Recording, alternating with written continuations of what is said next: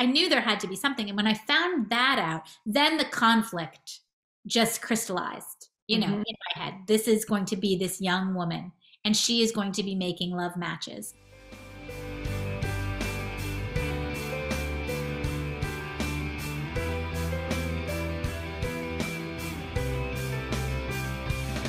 Welcome to Bookreporter Talks to, where our guest today is Lynda Cohen Loigman, and we are going to be talking about her latest book, The Matchmaker's Gift. Now, a couple of years ago, I read her book, The Two Family House, and loved it. I absolutely love this book. And I was so happy to fall upon reading Matchmaker's Gift because I was like, oh, this is going to be another one where I'm just going to dive in and have a wonderful story surround me. It's also my latest Bookreporter bets on selection for 2022. Now, let me read what a reviewer had to say about it. Although the book is no fantasy, it crackles with real, powerful magic that is matched perfectly by Loigman's perfect, beautifully crafted characters whose battles with feminism, religion, ambition, and power round this gorgeous, uplifting novel and give it some weighty, emotional heft. So, with those words, I introduce Lynda. Thank you, Carol. Thank you for having me in that review. That was such a beautiful review. So thank you so much for that. It just made me so happy to hear. I think she really hit every note that's going on in the book, and we'll make sure we link to it down in the notes down below because it, I think she really hit, um, hit everything you were trying to say. So let's start out by you telling us about the book. Sure. Um, so the Matchmaker's Gift is a dual timeline story and it follows Sarah Glickman, who is um, a matchmaker. She's an immigrant. She comes over from the old country to New York City in 1910, and she realizes she has this gift for seeing other people's soulmates. Um, and then it's also about her granddaughter, Abby, who has her, you know, the bulk of her story in 1994. And she has very inconveniently inherited this gift because she's a divorce attorney. So that makes her life very messy to have this gift that she doesn't want. You know, she's very cynical. She's your typical, you know, divorce attorney person, doesn't believe in love, doesn't believe in marriage, loved her grandmother very much. Um, but she does not want to have this gift that she, you know, that she's just finds herself stuck with. Yeah. And we're going to get into the fact she's a divorce attorney. so, the book had a really interesting starting point. Mm-hmm. And tell us about that because I think the story of how the story came about is really interesting. Yeah. So I wrote this book during COVID, as so many, you know, so many of the books that are coming out now, that's what people are saying. But so in March of 2020, my daughter was a junior in college. And on a Tuesday, I got a call, you know, a she was crying. I, they're making us leave. We're getting kicked out of the dorms. We have to be gone by Sunday. And she came home, and her roommate came home with her. And, you know, I mean, they missed out almost like half a year of college. So it was very nice of them to be together and pretend like they were still roommates or still in college. I mean, we have a guest room, so it worked out really nicely. Um, and it was a, like a real blessing to have my daughter's roommate. But so before then, I was living in a house of men. It was me, my husband, and my teenage son, and my dog, who's a boy. and like, you know, we ate dinner together at night and we talked, but like, it was a house of men with, you know, the talk around the dinner table wasn't so interesting. And then these two young women come home and they're both really bright and they're both really ambitious and they're in the they're like taking their classes like so they're going to class and then coming to dinner so they're really like thinking and the dinner table conversation gets elevated like in a big way and we're talking about women's issues and we're talking about the things they're facing as students in college as women they're asking me about some of my work experiences because i used to be a lawyer and i'm realizing you know like it's not so different, you know, than it was. Like it hasn't really changed so much. They're worried about the same things that I was worried about. And that was kind of in my head. So we're eating dinners because that's what we did. And then we're also binge watching television because that's the other thing everybody did. And our binge watch for a while was Indian matchmaking, which was so fantastic, so fun, like exploring that whole idea of matchmaking from a very different culture than my own. And at the end of watching all the episodes, my daughter's roommate, whose name is Adele, turns to me and says, You know, my grandmother was an Orthodox Jewish matchmaker in Brooklyn. And I say, Really? And she pulls up on her phone this picture it's a New York Times. Her grandmother is in a New York Times article in like 19 in the 1970s, and it's this picture of her grandmother. And the article talks about her grandmother, just matchmakers in Brooklyn generally, and it took like references somebody's file cabinets. Mm-hmm. Like So I immediately, you know, we're book people, right, Carol? So like if I say file cabinet to you, you think, I mean, I think you think the way I think. So I think like the mixed up files of Mrs. Basil E. Frankweiler. And I immediately thought like that would be such a fun matchmaking story, right? Like a grandmother, a granddaughter, I don't know, the mixed up files, I don't know. So I ask Adele, do you care if I write a, I kind of think I want to write a matchmaker story. And she says, I don't care. Go ahead, you know, whatever you want. And I tell my agent about this and she doesn't like the title, my my mixed up files thing, because she said it sounded too like too much like a children's book. But mm. she's very intrigued by the idea. And then the next day she calls me up and she said, I was thinking about it all night. And I, I want to tell your editor about it because I was I had a contract for another for a book and I was working on that book, but she talked to my editor and they said like I think we will do a two book contract, but we want you to write the matchmaker book first because that sounds mm-hmm. like there's something about it that really everybody wanted that book right then, you know, mm-hmm. because it was just the times we were living in. So I just got to work. But it's if I say matchmaker to you, you think a romance, and I don't write romance. I write mm-hmm. historical fiction. So I had to come at it from a historical point of view, and all of the the women's issues and feminism stuff was swirling in my head, which is why I'm so happy that the your you know your reviewer wrote what she wrote about the book because those thoughts really were in my head. You know, the main character is really this young female matchmaker fighting against this wave of established older male matchmakers in the community. Mm-hmm. So that that was like a big part of the story, a big part of the conflict in the story. But that's how it came about. And of course, you dedicated the book to your daughter and her roommate. I yes. love that part because at the beginning I was like, "Who are these two people?" Because you always read those right. beginning. Oh no, I know exactly who those two people are now. That's like perfect, perfect. Yeah. And I also have to say, I loved Indian matchmaking. I mean, I absolutely loved that show. It was so fun. It was so fun. There's that one really annoying girl on the show too, and she's back in the second season. And I was like, oh, she's never going to get matched. Like she's just not going to happen. But it was just really it's this fun show to see how the culture works and to see how but knowing a little bit of that background watching that show made me think about this show this book a little bit more as well because i mm-hmm. was like oh this is really interesting how this all happens you know so did you always knew know you were going to have the two timelines did you always know that you were going to go in with the story behind and- yeah yeah so well the first decision that i had to really make was what timelines was i thinking of mm-hmm. like i thought you know what I, I want it to be two timelines because I want to have a modern story also. I thought that I don't know that I, I I didn't what I didn't want to do was I didn't want to do the thing that so many people do with you know there's there's a trope that people use a lot of the time with the letter or the piece of jewelry or whatever it is and you're in a modern timeline and they you know the person finds the letter or the jewelry or and then it's just little flashbacks but I wanted a real story about Sarah. So it's very equal. It's there are mm-hmm. two real true defined arcs of two characters in this story. But I really the first decision was that was what time period am I looking at? And for a while I thought, well, I'll, maybe the grandmother will be in the 50s because everybody loves the 50s. It's so fun, you know. But you know what? Then I started when I once I started doing my research, I found this piece on the Museum at Eldridge Street website called Love on the Lower East Side and it referenced this wedding from 1909 in New York City. The the, the daughter of a, a, Romanian immigrant, and they called him the pickle millionaire because he had a big pickle business in New York. And his daughter got married, and there were 2,000 people invited to the wedding. It was like all like this huge New York Times article about an immigrant kid's wedding. It was so strange. And there was this line in that article that said, the scent of orange blossoms and roses mingled with the odors of dried herring and pickles. And when you hear that line, I mean, I said, well, that's it. I have to write about this time period. And I'm going to have a pickle king in my book too, because this is like the greatest imagery that I could ever come up with. And so, and then I read, I learned more. That article used the Yiddish word for matchmaker, shadchan, which I had never, I hadn't heard that word. Um, I know a little bit of Yiddish, but not very much. And I knew the word shidduch, which means a match in Yiddish, but shadchan is a matchmaker. And I kind of was like, let me just like see, like, why is the New York Times using a Yiddish word? And did they ever use it again? And so I like looked, and then I found this other article, this amazing article that was from 1910 that said at that time in New York City, there were over 5,000 professional matchmakers. Mm. 5,000. And the bulk of them were men.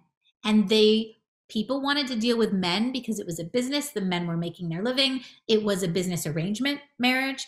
And that was why it was men. And so when I read that also, then that whole, you know, I didn't want to write a book about Yenta from Fiddler on the Roof. That's not what I wanted to do. I mm-hmm. wanted to figure out what was real, what the rich cultural, I knew there had to be something. And when I found that out, then the conflict just crystallized, you know, mm-hmm. in my head. This is going to be this young woman and she is going to be making love matches, which is a very modern idea. You mm-hmm. know, the, the arranged match is an old world, you know, idea that's been around for centuries. The the match made out of convenience, made because the families do well together for money, for prestige, for whatever it is. The love match is a whole different thing. That's mm-hmm. a modern idea. And so it was going to be, you know, the themes come together. It's modernity versus old world. It's a young woman fighting against this whole cabal of men. And so it all kind of came together. And then I knew my time periods. Because, you know, once you know the grandmother's time period, the granddaughter's follows. You know, you, she can only be so old. And I was a young lawyer. I'm pretty much the same age as Abby. I was a young mm-hmm. lawyer. I graduated from law school in 1993. So in 1994, I was a very young lawyer working at a big law firm in New York City. And I worked on a, I wasn't a divorce lawyer. I was a trust and estates lawyer. So I worked on a couple of prenuptial agreements because a lot of times in a big firm, they will a prenuptial agreement can go hand in hand with estate planning. So I worked on some prenuptial agreements and and one really crazy one that that inspired some of the stuff in the story. I love see past does come back. Your past does come back to haunt yeah, you. Yeah, you can't escape it. Yeah. Did you write one timeline first or did you write them, you know, at the same time? No, I always write my books in the order that you read it. Mm-hmm. I can't. One of the compliments that I've gotten on this book that makes me so happy is that people say they like both timelines equally because a lot of times people really are invested in one and not the other. Mm-hmm. And that they, again, I didn't want to do that tropey thing where it's like, you just flash back for no reason. I wanted them to be really interconnected, really layered together. And I couldn't do that if I wrote one and then the other. I had mm-hmm. to I would think of an idea and it would, you know, to make it flow, to make it really mesh together. I had to write them in the order that you read it. Was one easier for you though, the historical or the modern, or were they both the same amount of work, same amount of because 94 is still while you were that age, it's still yeah. some research back of what could you do then, what couldn't you do then, things yeah. like that. No, sure. Um, yeah, well, 1994 sadly is historical fiction for us, sadly for us, but what are we going to do? Um, I would say so I was very worried about writing the Abby story because it's the most modern story. Even though it's 1994, it's the most modern timeline that I've written. Mm-hmm. And I writing historical fiction is my sweet spot because there's something about writing about that more distant past. The language is richer. There's something about it that I feel it's just really easy. Not easy, because it's never easy. It's hard and it's a heartache. But but it's it, there's something about it that I feel comfortable sitting in that space. The modern, I feel like, am I funny enough? Can I make it kind of witty enough? Can I make it sparkle the same way? Can I give it the emotional depth that I want it to have if it's not in this foggy past? Can I mm-hmm. do that with it? So that was more of a challenge for me. It was harder. Um, but once I got about halfway through, then I felt comfortable in it you know, then I was like, you know what? I can do this. And it really, I'm grateful for it because it opened up my, it just opened me up to feeling like I could write. I don't have to always write so far back. Mm-hmm. You know, mm-hmm. I can, I can write different times, different, different people. So that, that made me feel good and sometimes there you're more caught up and everyone's going to know the words everybody's going to know the colloquialisms whereas before you can kind of fake it because yeah. who's going to be around that really knows oh when she was born in 1910 knows exactly what's going on here yeah. it's like well wait a second i can call you out on that be it a piece of um, technology that's available or something that's available it's a completely different thing but it's far enough back that it can't be this immediate thing that we can all do all day long now you know right. it's right like let's just yeah it was fun. I I sort of like got into the whole supermodel thing because that was something that was happening back then. And then of course like the Charles and Diana divorce happened yes. in 1994. So that, you know, with as the divorce kind of thread was that was a really interesting thing. I was just lucky that like, you know, like, well, I mean, I did make it happen that then, you know, I could have picked 1995, whatever, but I wanted that divorce to be in there. Um, cause that I thought if you were a young divorce attorney, that was going to be really interesting. Yeah. So I also love the little homage to Christy Turlington. I yeah. love these little things. I worked in magazines before. When you drop a model's name in, I've got it. You know, I'm like, I'm there. I'm totally there. And then you found that you wove in these journals that Sarah found that her grandmother had done. And was this um, adding this inspired by anything in particular, or was a good way to ground the storytelling that you had some reference point to go back to as well? So remember I talked about those file cabinets that I read about. So at first I thought I was going to have file cabinets. Um, and then file cabinets just seemed kind of a little too modern and not quite right once I decided on the time period. And journals worked better. It just, I wanted there to be some written records that were not, you know, they're not it's not a diary that, mm-hmm. that that abby inherits you know she wants it to be a diary she wants it to be something that's really personal but it's not it's like a catalog it's like you know these very mercenary kind of like pictures of people um and but then there are fun little things slipped in. There's a ticket stub. There's you know there's a little note on it that she that she sees. And so those are the things. And i think i wanted it to be like that also because it's the facts. And abby doesn't believe really her grandmother's stories. She believes that her grandmother was a matchmaker. Mm-hmm. she believes that she met different people but she thinks a lot of it's really embellished and she doesn't think that a lot of these fantastical bits and pieces that she tells her when she's young happen. And then when she when it's the facts, it it makes it real for her in this this really special way, you know. Mm-hmm. So that's why I kind of wanted to have that. Yeah, I could see the pencil drawing, uh, penciled writing, crossing things out. I could feel that it wasn't something that was perfect. It was something with notes. Yeah. And from that, she was going to extrapolate what she thought the stories might be. Yeah. So what did you learn? Because matchmaking is so interesting that people aren't just looking for love, they're looking for a good match. And the match is usually financial. And, and that's the reason I thought men were involved because men were making deals with men. Men were not going to make deals with women. Is that yeah. true that what you like she was really going against the grain if she was a woman trying to make these these matches? So, I mean, there definitely were uh, female matchmakers then, but as you know, I found out from research, there really were mostly men at that time. Mm-hmm. Today, there are there are professional matchmakers today. Today, I would say, you know, the bulk of them seem to be women from at least from the websites, you know, the, the Jewish dating websites and things, and there are matchmakers. And I've spoke with a modern matchmaker also, and it tends to be women. Um, but back, I think back then it was, you know, a full-time profession right? Like you would feed your family based on making these matches. Today maybe it is i don't really know but it's it seems to be something that women that women do today. But one thing for sure matchmakers are supposed to be married. They're not supposed to be single. Like that was a big taboo and that's a taboo today also because how are you supposed to lead someone down the path to matrimony if you haven't done it yourself. And mm-hmm. also, there's a whole idea in religious Judaism, this whole modesty idea, mm-hmm. where you know if you're an unmarried woman, you're not you're you're not really supposed to be having these kinds of conversations with an unmarried man. And then there would be the idea that like well, what's to stop you from grabbing that man for yourself, right? Like, you know, or whatever it is. It's just a very immodest thing to do to be mm-hmm. talking to a man about that or to meet alone with a man. You wouldn't be allowed to do that. So that was just kind of an interesting I don't know, just some interesting tidbits that that I thought it was important to share. Yeah. Yeah, because they make the story real. Because it's yeah. like, wait a second, this is just not something that you know I made up. When you're out doing research, is there ever a moment where you go, okay, I could keep going, or I could stop here? Or is there always this, I could do more? I could There's more. always more. There's always more. Once a couple years ago, before COVID, I I went, I heard um Colm Tóibín talk about research, and he said something that always sticks with me.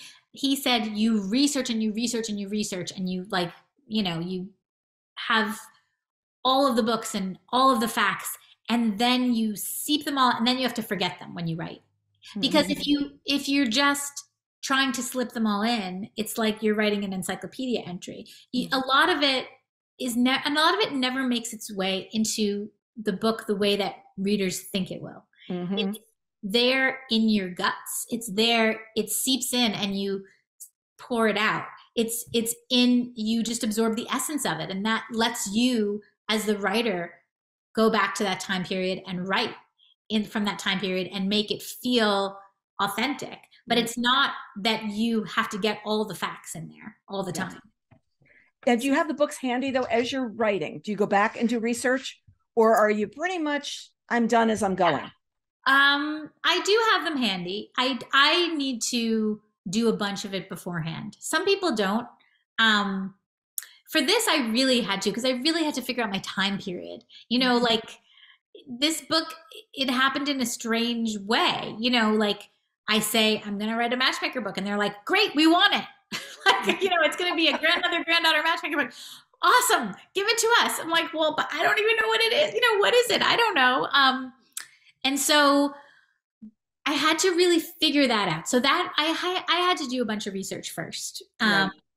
But it's still, you know, no research is like the research I had to do for my second book, which was it was a home front story, but it was a World War II story. Mhm. World War II research to me is the most intense because you cannot get any of that wrong. You can't fudge it. People will people are too knowledgeable. They're t- take it too to heart, and you have to get it right. So when you're not researching World War II or World War, when you're not researching a war, I feel like it's easier. It's it's there's a little more forgiveness. Yeah, there's a little bit more that you can just uh, play around with the facts a little bit Yeah. because it's a Yeah. different kind of a story.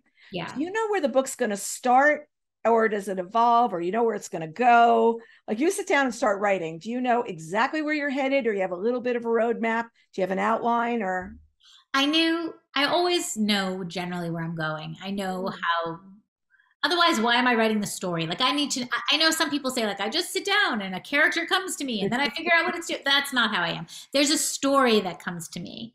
There has to be a story. So I knew this was going to be a story of this woman who was fighting against these men. And I knew that she was going to have this granddaughter and I knew that the granddaughter was going to be a divorce lawyer and that she was going to have her own fight. And I knew all that but I still didn't. It's still, I sit and I sit and I sit with my characters and I think about them and I try to make them real and I try to figure out who they are. And that sitting and thinking takes up a lot of my time. And for this book, I knew that I wanted, I knew that I wanted Sarah's first match to be on the boat coming over. So I knew that, but that was almost like a prologue and it was a little, you know, a little mm-hmm. scene. But Abby's first chapter took me weeks and weeks and weeks because it's the setup. You I feel that this setup is really important. Mhm. Abby's whole setup of why she became the divorce lawyer that she became, her whole thing. How am I going to explain to the readers how her grandmother factors in all of it? You know, the setup was a really, her first chapter was really tricky. Mhm. Um, and when I was done with it, I felt really good. And I knew that, that it would, I knew that it would become something. You Mhm. know, I knew that it was going to go somewhere good. So you said it was tricky. Was that weeks to work on that chapter? A month to work on that chapter? It was weeks. It was Weeks. weeks. Yeah, it was weeks. Did you run it by it's the a very long chapter. It's Right, a really is. long chapter, and it's it covers her relationship with her grandmother. It covers her parents' divorce. It covers her how her parents told her about the divorce. It covers like so many things that so that then when you're done with that chapter, you can say, okay, now I have it all. Let's go. Did So the girls was- see it anywhere along the way? Or did they Sorry? see anything? Did the girls see any of what you were writing along the way? Oh no, no. I mean. Adele helped me with the some of the Yiddish. Like I would say, the book doesn't. There are a lot of Yiddish phrases that I found that are sort of sayings that I love. And, I, and when I first wrote it, it had a lot of actual Yiddish, and then I would give the English translation. And then one of my friends read it and was like, "You know what, Lynda? It's like too much Yiddish. Like just you just need the English. Like it's too much." And so in the beginning, I had kind of a lot more Yiddish, and Adele is fluent in Yiddish. So Adele, like, so she, like, I would say, how do you say, like, I would just want to throw in a word. So I was constantly like, how do you say this word? You know, how do you do? And she would say, well, what's the context and whatever. But, um, but they both read it before. They both read it before it was out. You know, they both read it like when it was a PDF on my computer. You know, I love it. So- I love it. and actually, my daughter came and surprised me at my book launch. She lives in Washington D.C., but she came and surprised me, and I cried. She showed up at the li- at the Chappaqua Library, and I cried. And Adele wanted to come, but Adele's a P- Adele's getting her PhD, so she's all the way up in Ithaca. She's at Cornell, so she couldn't get here. Yeah. Oh, that would have been so cool though. Just Yeah. let them walk in. So, what's editing like for you? Do you, you self edit, clean up everything before it goes? Does it go to your agent first? Does it go to your editor? Does it go to both at the same time? What do you do? I don't. I mean, well, let's see. I really edit myself to death. Like Mhm. I am the that person who writes a sentence and deletes it and writes it and deletes it. So, and then well, with this book, I sent it when I had like a hundred pages. I sent it.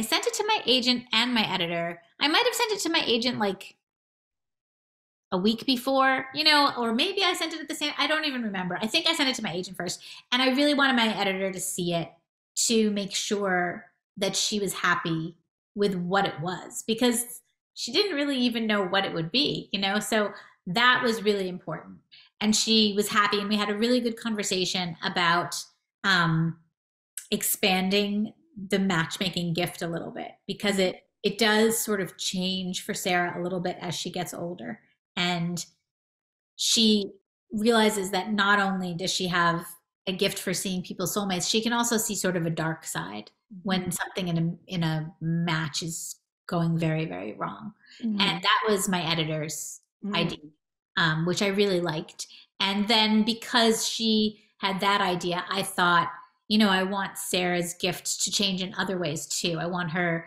not to just match the same kinds of people that she's known as a child. I want her to match to expand her world Mhm. as her you know to expand her matches as her world expands to see this you know that there aren't barriers to love in any way. And that so that's something that i'm really proud of. And that really was a direct result of of my editor really making me stop and think about other gifts that sarah could have hmm You know, I often think that when you're writing a book, not everything makes it. And does something come out that actually could be a short story? And I've thought about this for a long time. And is that short story what you get when you pre order the book? Is that short story something that, because everybody could probably bang out a short story with a character that dropped out or something like that. And I've had this idea for a really long time. Instead of like, we'll just pre order, pre order and get something. Because Yeah. I've always, because recently we want people to go to events and buy a ticket even if it's virtual so that Right. we have that happening. But then anybody who pre-ordered where's the pre-order event? Like i want to know what happens for the people who pre-order the book. And i've always said it should be the event the night before that's virtual and they can go to their signings if they want. But i'm very big on we ask everybody to pre-order what did they get? So my idea is always like oh what's that little story you I think that's great. I think that's a great idea. And actually, so I had a book um, before the Matchmaker book that I wrote that my agent was trying to sell at the very beginning of the pandemic, and it wasn't selling. And I love it so much, and I do have to go and rewrite it.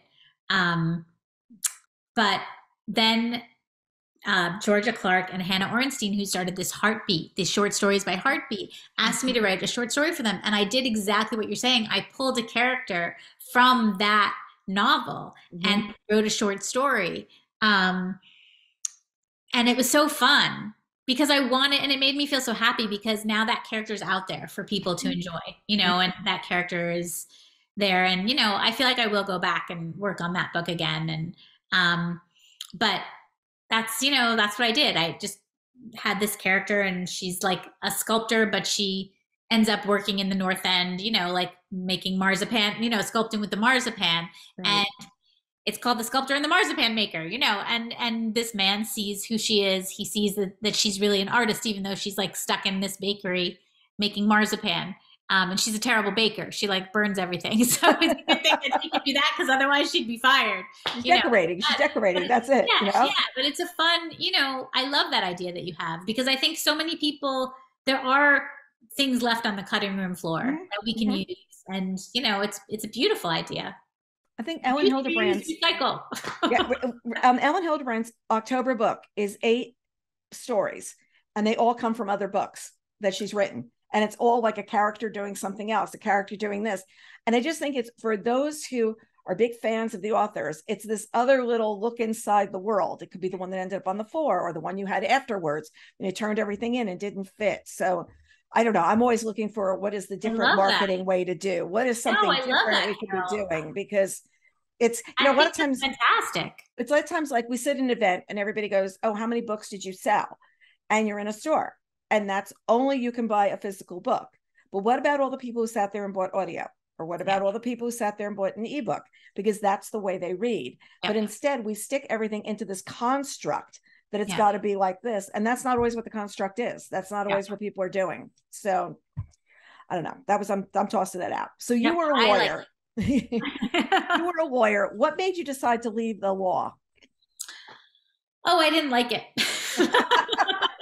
There's so many writers who used to be lawyers. I mean, I know. have a whole well, group. Know, yeah. Well, it's because when so I graduated from college in 1990 and I was an English major, and all the English majors and we all went to law school. What what else were we going to do? I mean, I feel I do think like I'm I don't know why, but I was a really unsophisticated college student. I don't know why I didn't understand or know that there was like a publishing world that I could have tried to get a job in that. Um, I wasn't at a point where I think I would have thought anyone would buy my actual writing, but I I, I wish I had known.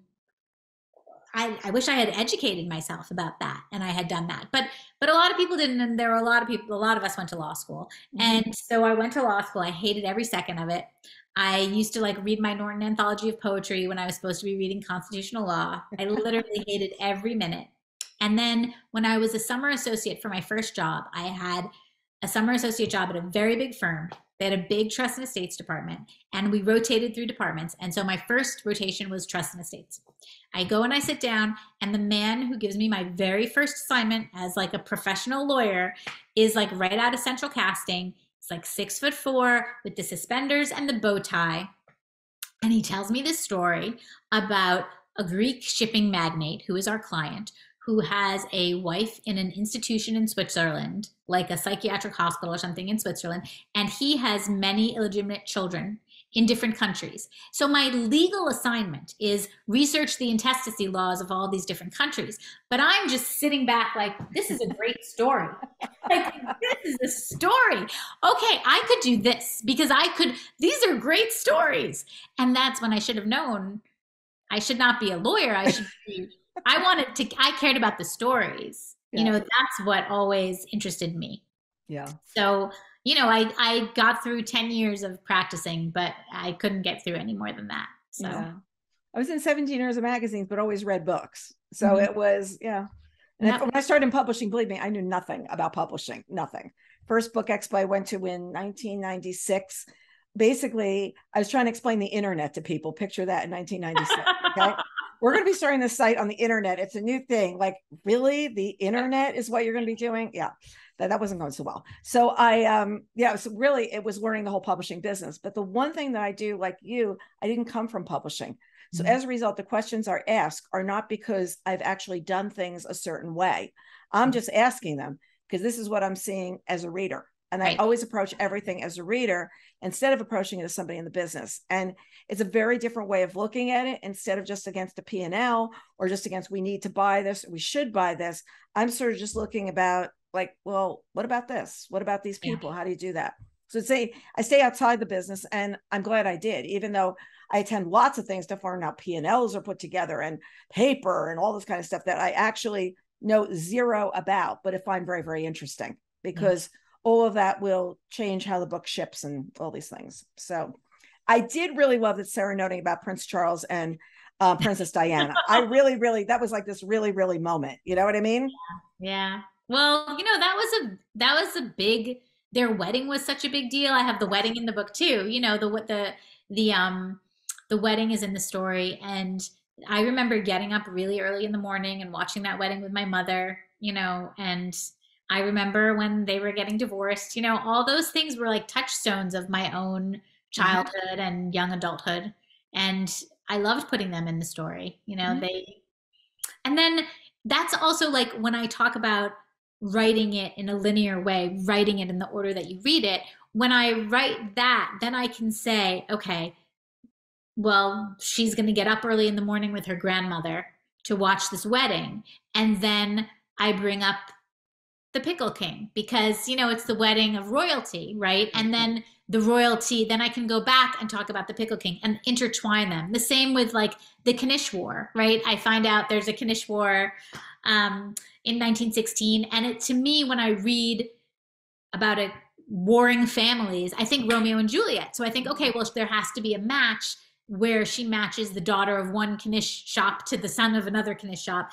But then in my next chapter, I'm thinking, how am I going to connect this? And then I loved going to Shakespeare in the Park when I was that age and young and living in the city. And that's, you know, I think my law firm, I think I want the, I first went to Shakespeare in the Park with my law firm like as a summer associate. That's what i did. They took us all like as one of the you know marketing things for the young people at the firm. And so then i can bring that in. And that way it feels like it's flowing. It feels mm-hmm. like everything is meant to happen the way that it happens instead of just feeling like you're trying to just like smush two things together that don't go together. Mm-hmm. so, i was thinking about the pickle king I was thinking about it's a little bit earlier than um, that whole Gilded Age timing, but I was just thinking of the Pickle King having a bigger wedding than the people of the Gilded Age and how they would just make them crazy. They have 2,000 people, they have to have 4,000 people. This is what yeah. we have to do now. It's like really, really fun seeing that, you know? I also, um, there was a lot of Yiddish in the book.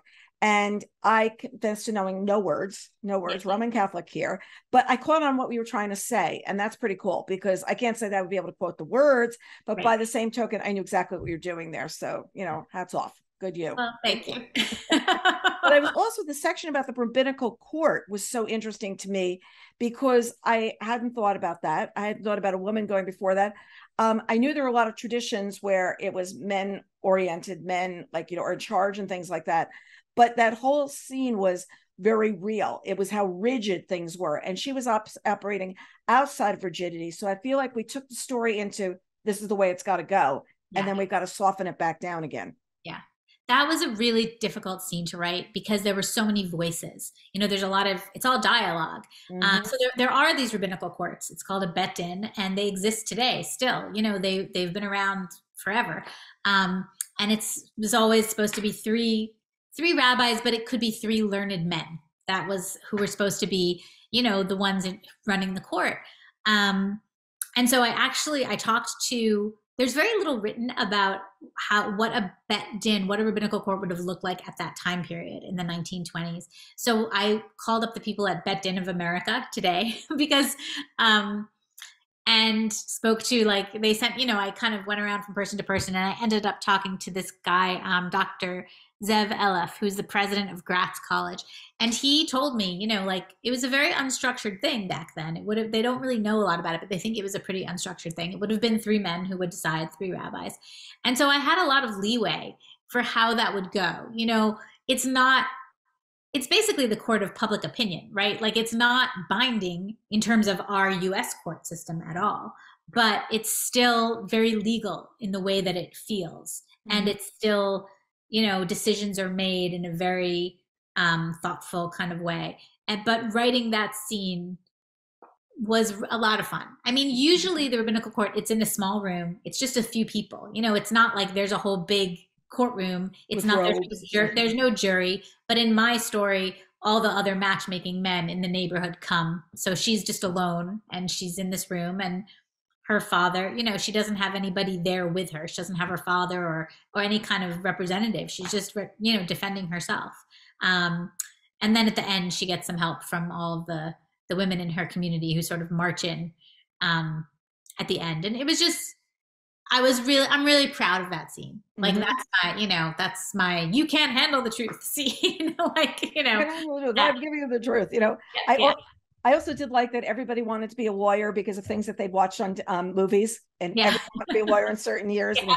you were you were the firm. You were going to be a tax lawyer, and if you were yeah. watching this one, you were going to be this kind of lawyer. It was very funny, and it was very very true. It's like, oh, this is what I'll be if I'm an English major going to law school. I'll try this. I'll try this. You also have this really funny reference to Lucky Charms cereal.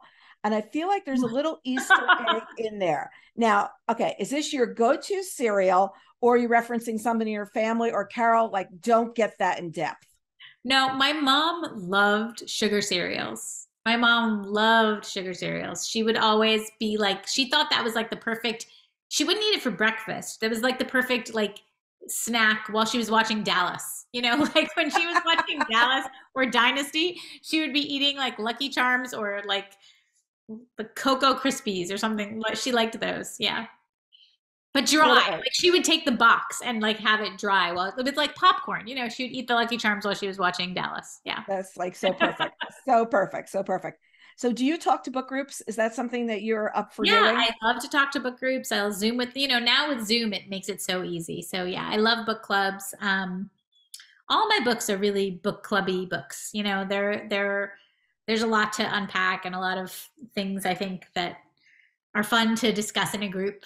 Um, so I'm definitely open to that. So people can email me, people can find, you know, send me a message on Instagram or Facebook or whatever. I'm happy to try to Zoom with book clubs for sure. And I'm going to add the line that I always add. Please tell her what time zone you're in because yes. she needs to know that to set up the meeting. And yeah, I've had some. I've had some very sad like misses with book clubs because of time zone issues. Yeah. But I do think that the Zoom thing is better. There's um it used to be on Skype or like you know speakerphone. Yeah. And Adriana Trigiani tells the story one time about they all were drinking wine in the group and they went to the pool and she was still on the phone. Oh God. And they went out to the pool and she's like, "Well, coming back anytime oh soon." That's you so can't funny. leave on Zoom. There's the oh difference. Oh God, yeah.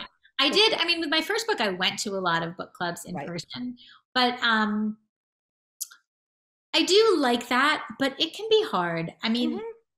it's it can be a little bit hard because people, you know, when people have book clubs, they really they like to just talk and gossip and eat. Like, you know, it's a very social thing. So it's a little bit awkward when you're the author and you're just like you don't know who they're gossiping about and you're just kind of waiting to start and then a lot of my author friends were like no no Lynda you have to like tell them you're coming like after they're all settled right you know like right don't be the first one there like i'm right. so anal about time like i never want to be late no Lynda you can't be the first one there tell them you'll come like a half hour after you know right. like, they have to be ready to talk about the book they have to be yeah. ready to talk about it you know yeah it's, yeah, I, I, would definitely say that. Definitely say that. Did you have the title right away? Did you know right away what the title was going to so, be? So no. So well, it's interesting because you know the editor, um, my editor, and my agent wanted me to start working on the book, and my editor said they liked the title of the Matchmaker's Library. That was the first title, which felt a little weird to me because but i was like okay well i can make the i guess i can sort of call the journals like a library like a personal library. But after i wrote it then they were like oh no it's going to be called the matchmaker's gift which is such a better title you know it fits yeah. it i love i love that whole i love that title i really love it matchmaker's library as a title i could see why they wanted that as a title but i love matchmaker's gift much more yeah i think it's a stronger title yeah. And I love the cover because the cover is one of those things you could just sit and look at for a while and say, where's this piece from and where's this piece yeah. from? It's yeah. really gorgeous. Yeah. Yeah. The cover was really they the they were so yeah, it's so pretty. They were great um with taking my input for the cover because I wanted it to look like a ketubah. So um which is a Jewish marriage contract. Ket- oh, like okay. ketubahs are like mine is framed. I should have brought it with me, but um they're very decorated and they're often like very floral and they look they have little symbols on it like a house and you know like to represent your marital home. And so this cover you know it has the spectacles because we have an eyeglass salesperson mm-hmm. and it has the pickle jar which is my very favorite thing. I, I said like please please please put some pickles on the cover. And when they did i was like so happy. When they sent me this the first mock-up of the cover i was just like beside myself because it had the pickles yeah. That was like honestly the only thing I saw at first was the pickles. I was just I love it. The pickles. I saw the moon first. I think I saw yeah, the moon. Yeah, yeah, and the wedding rings, the bracelet. There's a bracelet that figures in there. Yes, yes. yeah, yeah. and then the, just like the whole the whole swish of stars across the front is just you get that kind of magical sense. You know, you you know something slightly magical is going to happen there. So yeah. I love that. No, it's terrific. It's absolutely terrific. It's your color too, Carol. It's my color. yeah, I, I, perfect. I wore something to kind of complement today. Yes. I never yeah. like to like you know. Sometimes I match the book, but I, I know you're more turquoise. You're a little more, more blue. You're a little more turquoise. This is a little more teal, but it's a good. Yeah, I, I, was looking in the closet today. Literally, I go in and sometimes I don't get rid of clothes that I don't even like because I say I might need red again. Like just hold it, you know, just hold it for going on screen. Nothing more. Nothing more. So um, the audio, something interesting. You've got Eva Kaminsky and Gabra Zackman are the narrators. Uh, did they each do a different time like period? Is that what they did? Yeah, one is Sarah and one is Abby. Yeah. Yeah. At first they were just going to do one. And I said, can we please have two different voices? I would really love to have two different voices. I, I thought they might get a much older narrator Mhm. to do Sarah. Um, but neither one of them is very old. You know, they're they're young. But um, but I like the idea of two two separate voices. Right. Well, a number of readers who have listened to me when dual timelines have told this to me.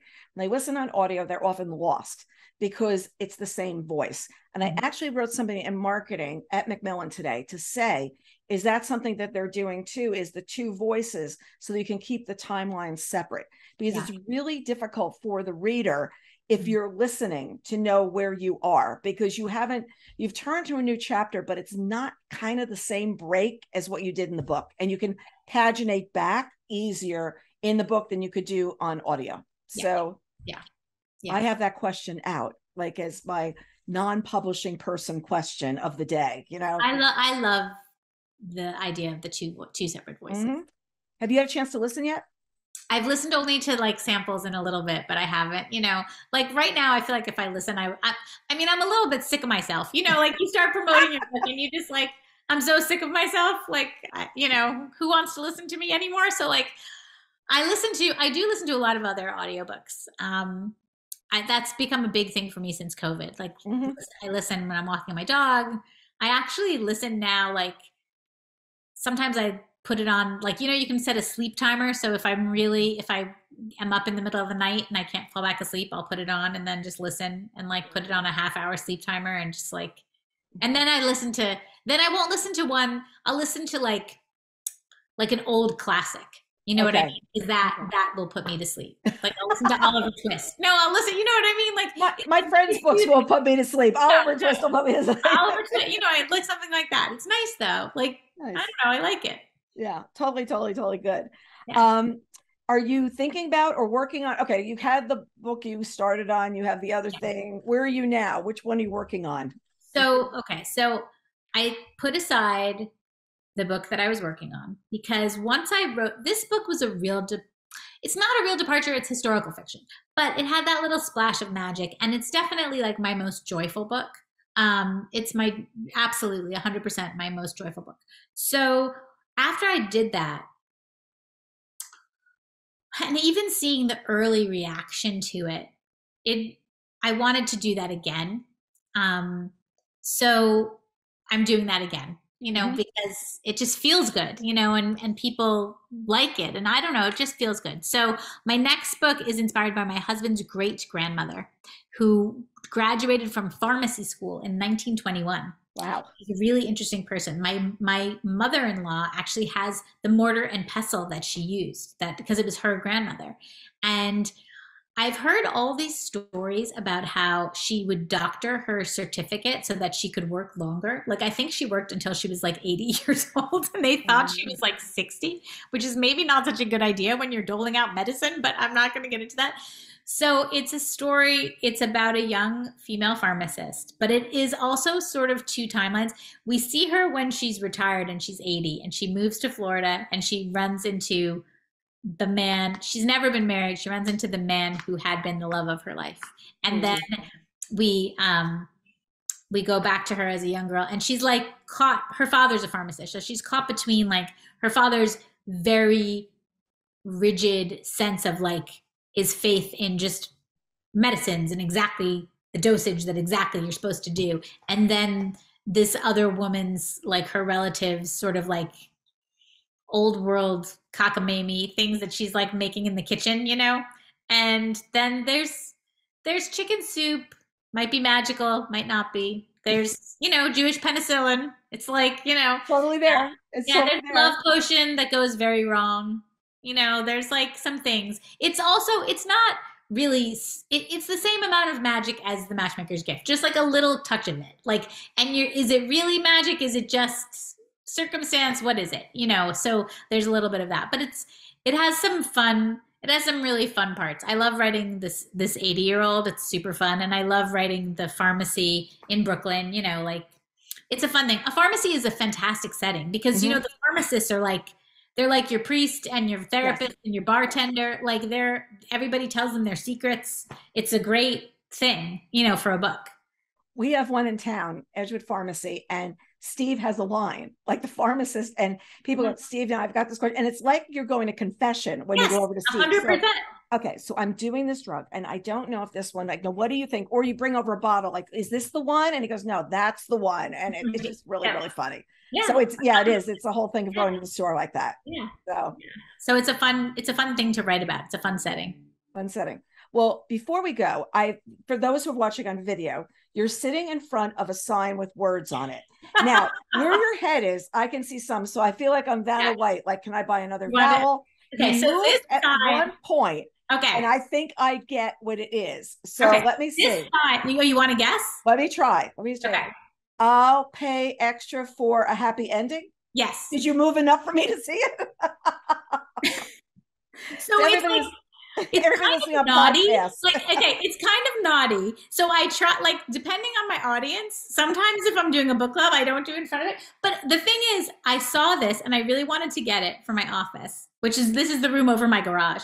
And my husband was like, You know what that means, right? And I said, I didn't. And, I, and he told me, and I said, "But I'm. A, it doesn't mean that if you're a writer. It means something different to me. So it's not naughty for me to have it. I'm allowed to have it, and it means exactly what it says. That's it. That's it.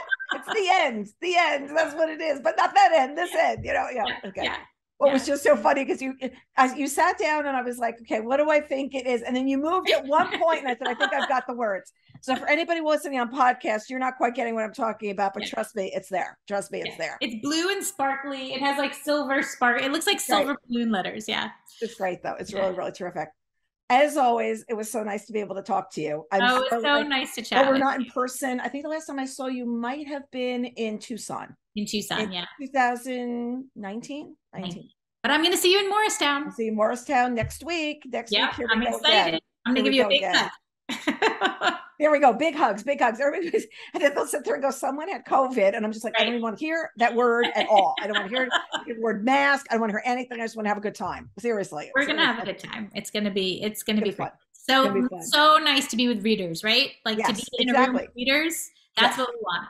Yeah. And your book will be out just long enough that some people have already read it, which will be yeah. really nice as well, as opposed to introducing something brand new and everybody going, okay, in the audience. Somebody's going to raise their hand and go, I know this. I want to talk to you about that. It'll so, be fun. Thank you so much for joining us. I thank really, really appreciate your time. Oh, it was a great talk. It was all, it's always great to talk to you, but this was super fun. Super fun. And to our readers, look forward to seeing next time on Bookreporter Talks to. Remember, you can find us on YouTube for any of our past interviews or sign up so that you'll never subscribe so that you'll never miss anything or on podcasts wherever you listen. Thanks for us joining us everyone. Thank you